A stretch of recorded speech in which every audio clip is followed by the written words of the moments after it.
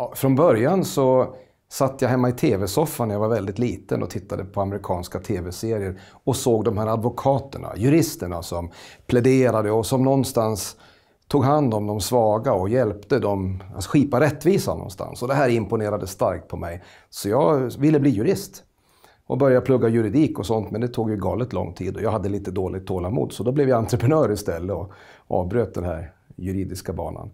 Och där någonstans fastnade jag i mötet med människor som jag älskar. Det blev väldigt mycket försäljning och kundbemötande och, och ledarskap och sånt. Och sen har jag drivit företag i en massa år.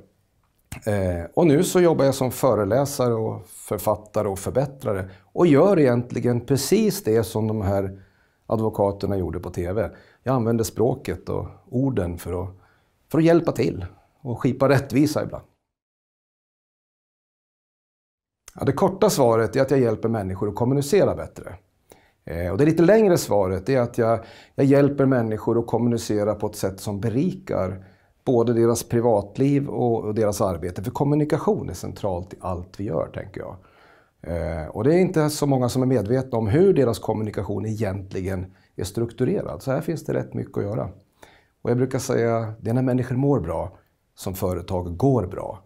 Så den första, det första steget är alltid att hitta ett bra mående och sen kunna göra resultat utav det.